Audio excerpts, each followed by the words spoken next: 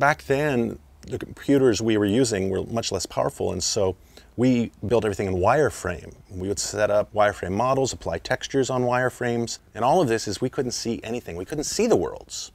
And then when we were ready to actually see what we had created, we would choose a camera, and then we would say, okay, render.